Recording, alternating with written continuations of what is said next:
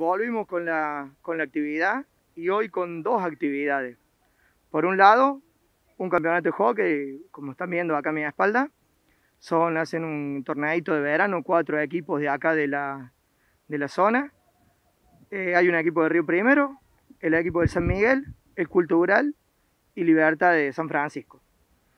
Eh, y también hay un equipo de las Varillas, son cinco equipos.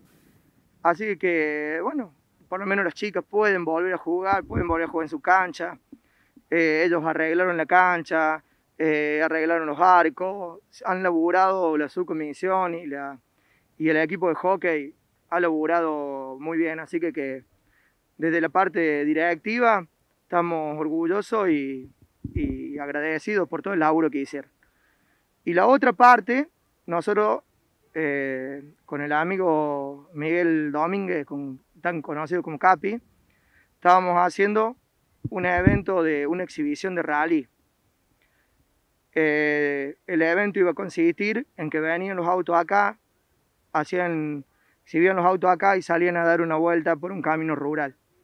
Todo eso por motivos de la federación, eh, de permiso y todo eso no se llegó a concretar. Entonces, el día jueves lo tuvimos que suspender ese evento, pero los pilotos, para eh, darle una mano a la gente de April, eh, vinieron lo mismo. O sea, han venido pilotos de Carlos Paz, han venido pilotos de Córdoba, van a estar llegando ahora en transcurso de la mañana y lo único que van a hacer es realmente una exhibición de autos, pero dentro del predio de San Miguel.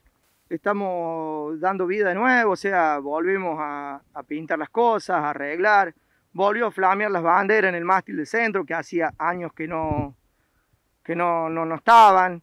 Eh, eh, así que bueno, el centro está con, con actividad. Yo también me faltó de, agradecer al, a la municipalidad, a la Secretaría de Deporte de la municipalidad, la Secretaría de Turismo, eh, lo que es Santiago y, y, Alejandra, han laburado un montón con, con nosotros para tratar de destrabar las trabas que había de permiso y todo eso por el tema de, de el rally, de hacer la vuelta esa del rally. No lo pudimos llegar a hacer. Eh, nos atendieron, nos ayudaron un montón, nos atendieron muy bien. Al comisario Bosco, el nuevo comisario que hay aquí en la ciudad, también eh, yo estuve charlando con él, no, nos informó, nos dijo qué teníamos que hacer, cómo teníamos que hacer, nos atendió muy bien en todo eso. Así que muy agradecido con toda la gente que nos ayudó.